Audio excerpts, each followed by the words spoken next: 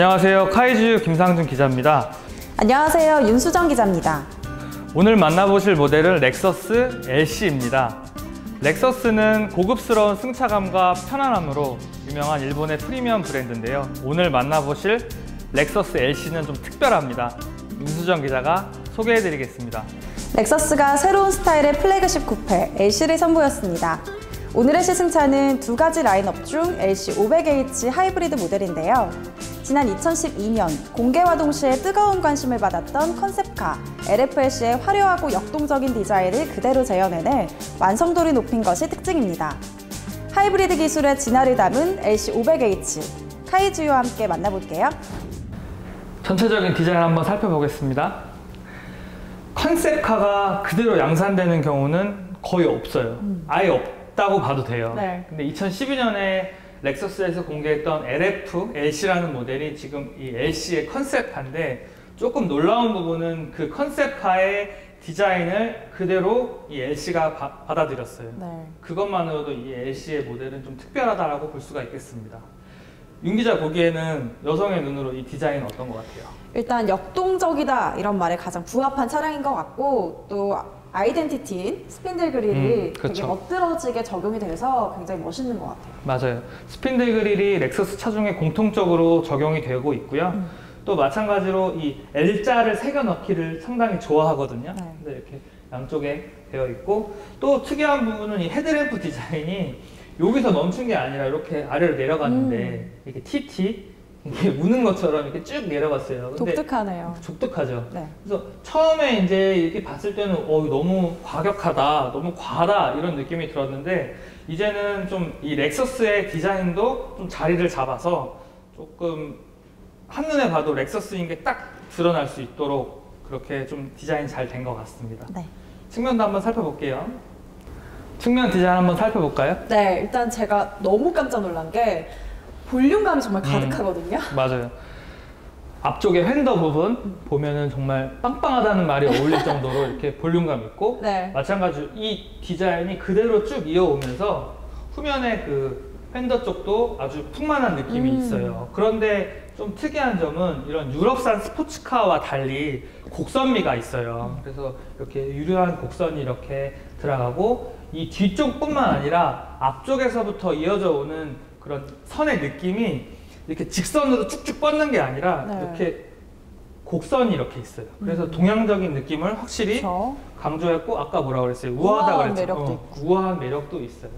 마찬가지로 또 특이한 부분은 이 휠 디자인, 그 컨셉카의 그런 휠하고 거의 동일했던 느낌, 대형 휠이 적용되어 있는데 차체하고도 잘 어우러지는 부분을 볼 수가 있습니다. 네. 후면 한번 살펴볼까요? 후면 디자인 살펴보고 있는데 윤 기자가 할 말이 있다고 합니다. 이 rear lamp 디자인이 지금 거울과 거울이 맞대서 음. 마치 겹쳐 보이는 것처럼 맞아요. 그런 디자인이 적용돼가지고 굉장히 예뻐요. 그래요? 저는 솔직히 이런 디자인 처음 봤는데 약간 진짜 거울 같기도 하고 음. 면발광이라고 하잖아요. 네. 이 면발광 느낌이 안쪽에 겹, 겹겹이 쌓여 있어요. 그래서 입체적인 느낌을 주고 전면과 마찬가지로 이 TT 우는 디자인, 이 디자인이 적용이 돼 있다. 좀 과격할 수 있는데 그래도 이제 좀 눈에 익은 느낌이고요. 네. 그다음에 또 살펴보시면 이 측면과 마찬가지로 이렇게 곡선이 이렇게 우아하게 음. 들어가 있어요. 네. 이런 느낌은 사실 그냥 일반적인 차에서는 찾아보기 어려운 느낌이었고 그래도 보기가 네, 좋고 입체적이다. 또, 음, 맞아요. 입체적인 느낌을 확실히 주고 있고요. 그다음에 사실 크게 뭐 볼 수 있는 부분은 없지만 그래도 스포츠카 다운 그런 음. 하단의 그런 마무리가 됐다라고 볼 수가 있겠습니다. 트렁크 공간도 한번 같이 볼게요. 네. 트렁크 버튼이 여기 숨어 있어요. 점 같네요. 네, 여기 숨어 있는데 사람들이 잘 못 찾아요. 그래서 이렇게 열면은 어, 예상대로 협소한 네. 모습이고요. 트렁크 공간은 사실 좀, 좀 작죠? 네, 근데 그래도 음, 기내용 작은 캐리어는 한 두 개 정도는 이렇게 실릴 것 같아요. 음. 그 같고 그래도 공간이 최대한 그래도 공간을 뽑아내려고 한 흔적을 볼 수가 있고 네. 어느 정도의 짐은 그래도 소화가 가능할 것 같습니다. 인테리어 공간도 한번 살펴보겠습니다. 지금 인테리어 공간에 탑승해 있는데요. 윤 기자가 보기에는 어때요? 저는 탑승할 때 차량이 낮은데 음. 이 승, 침차할 때 굉장히 편하더라고요. 어, 그렇죠. 시트의 느낌도 상당히 안락하죠. 음. 요거는 우리 주행하면서 설명을 할게요. 네. 조금 아쉬운 부분에 대해서 지적을 하면은 인포테인먼트 시스템이 지금 렉서스만의 방식을 적용했는데 음. 터치패드 약간 마우스 같은 느낌이죠. 네. 근데 이게 사실 조작하기가 좀 불편해요. 음. 요즘에 거의 터치 방식이잖아요. 근데 이게 고집스럽게 이거를 유지하고 있는데 향후에는 이게 좀 개선이 됐으면 좋겠어요. 음. 사실 이게 적응하는 데까지 좀 시간이 걸려요. 네. 어, 나머지는 이 차가 인테리어 이런 컨셉 자체가 전형적인 렉서스의 느낌이 있고 그쵸. 그러면서도 이 장인 정신을 발휘한 부분이 있는데 이런 실내 마감 품질이나 이런 부분은 정말 뛰어나다고 볼 음. 수가 있습니다. 이 차는 사실 스포츠카죠.